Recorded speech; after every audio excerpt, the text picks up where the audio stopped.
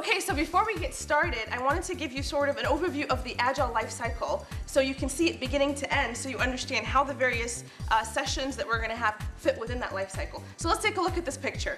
The first step of the Agile life cycle, or quite frankly, any traditional project life cycle, is initiation. Some people also call it feasibility. This is where you're trying to find out, is this idea even qualified? Should we even do it? Does it return business value?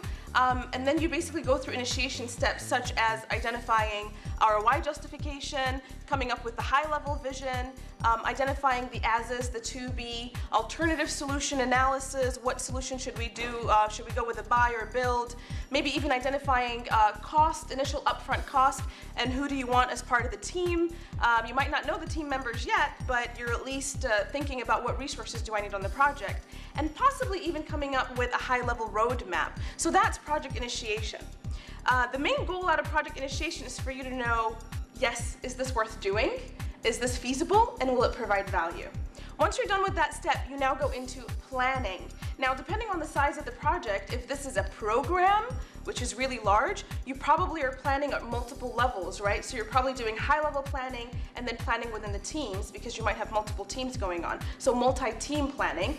Um, but the one that we're going to focus on for today is release planning. So what do you do when you're planning? You first got to come up with the backlog. You got to brainstorm the stories, start to break them down into smaller chunks. You need to prioritize them. You need to think about non-functional requirements. It's not all just about the functional requirements. There are also non-functional requirements. Now you got to size them and figure out story points, how big and how small um, is each item.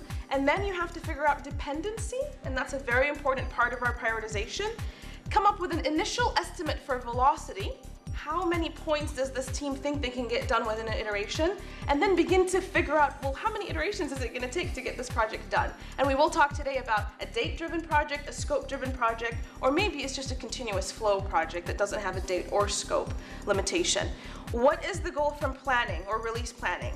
The goal is that you have very clear idea around the requirements, you've sized them, prioritized them, sliced them, and you have an idea of the release plan. How many iterations will it take for you to actually get this done?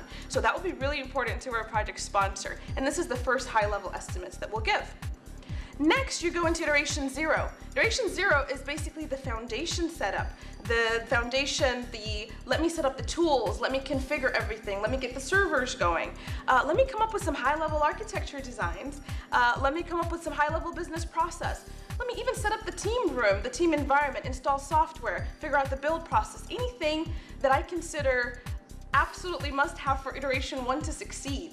Now, you don't want to make a mistake and spend two, three, four months in iteration zero. That's why we just time box it to an iteration. It is just enough to make iteration one successful. A very important part of uh, iteration zero is that you pre-plan for the next iterations. So if you don't do that iteration zero, you'll begin to fall behind. So you need to start uh, getting ready for the stories coming up in the following iterations. Development iterations um, or sprints, that's probably what you're most familiar with. This is where the team plans, executes, has a demo, has a retrospective in those small time boxes, and they do it over and over and over again until they can actually deliver value. Many times, some teams uh, execute iterations and release right away. Some teams execute several iterations and then they have a pre-release or a hardening iteration and then they move to production, which what you're seeing over there.